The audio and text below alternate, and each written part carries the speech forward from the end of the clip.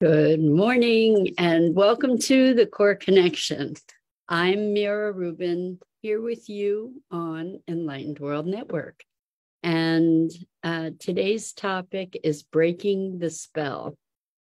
Uh, we are raised with all kinds of messaging about who we are and what our capabilities are. And um, what if all of that is a spell that is cast upon us that we then internalize? What might be available to us if we were able to break the spell? Good morning. Good morning, Rosalind. Welcome. So good to be here with you and with everybody else who's joining us. Um, before we get started talking about breaking the spell, uh, let's take a minute or two to get present. So, Let's take a deep breath in through your nose and hold it.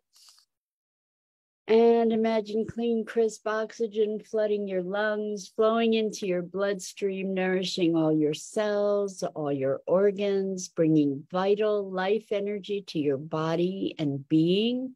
And as you exhale, exhale any tension, stress, negativity, fatigue, and now let's take another deep breath in through your nose and hold it. This time, imagine brilliant, bright light lighting you up from the inside out, illuminating, electrifying, and energizing all your cells, all your molecules, your electrons, creating a brilliant beam of light and energy from your heart out into the world. And as you exhale, exhale any remaining tension, stress, negativity, fatigue. And now let's press our palms together. Vigorously rub your hands together to feel the friction, the pressure, the motion, the temperature, and the tickling and tingling when you stop. And allow all those sensations to bring you present right here right now into this remarkable physical form that enables you to experience life. Welcome, welcome, welcome. So, today we're going to talk about spells. And um, we could also think about it as hypnosis or programming or conditioning. And um, it's a spell because we never think to question it, right? We we're raised uh, often. Many of us are raised with lots and lots of negative messaging to tell us that we're stupid or we're not smart enough or we're too demanding or we're weak or any number of messages that are gifted us by by parents, by environments, by schools, by just living. And when we're told these things, particularly as children, we don't know to challenge them. And even if we do challenge them, it's like they've become sort of a, a mind worm, you know, where they are working on us and we're challenging them to fight against that notion that we might be those things that we're being told we are. So um, the rebelling against them in its own way is affirming those things as some kind of truth or reality. So when when we wake up to the awareness that these are spells that have been cast and we can recognize them as spells or as programming, as hypnosis, as conditioning, we then have the power to choose differently. When uh, we become, our awareness actually denatures the spell. So if I find myself giving myself these messages. So what what I grew up with certain messaging, I rebelled against it a lot. And then I went off to college and my parents weren't there as a foil against which I could push. And what I noticed was that I didn't need them to be giving me messaging because I was giving it to myself. I I had adopted it as my own. And I think that this is a pretty standard practice. The beliefs that we have about ourselves, it's like spells have been cast upon us to believe this. And then we, that becomes the reality.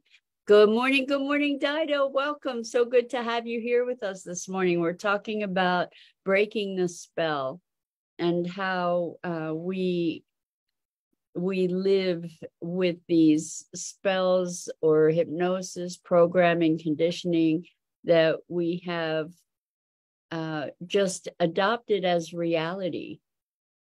And so when we can identify them, when we can bring them to light as the spell that they are rather than the fact that we believe them to be, that's the beginning of denaturing them because we can recognize when the spell is at work.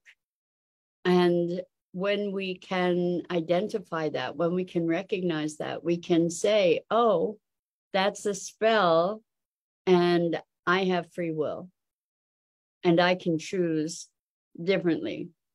That's that's not the truth that's a spell. And as we free ourselves from these these spells that have become beliefs that have become truths for us as we lift the veil what is then available to us let's look at who who could we be if we were free of that spell it's easy to fall back into the spell because we've practiced it so deeply and so so religiously for so long you know because we believed it to be true. But when we allow ourselves to question it or to identify it to call it out we can then say oh that's just a spell. We can put it aside. We can start to explore who we can be beyond the the dimensions of that spell. Who can we be if we're not stupid or we're not incapable or we're not um, deficient in some way or another without that spell, we have a whole new world available to us to explore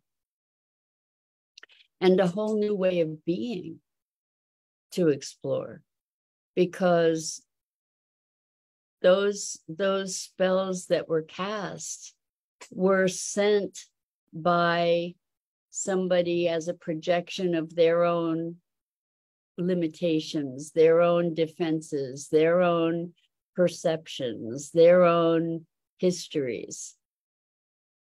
And we just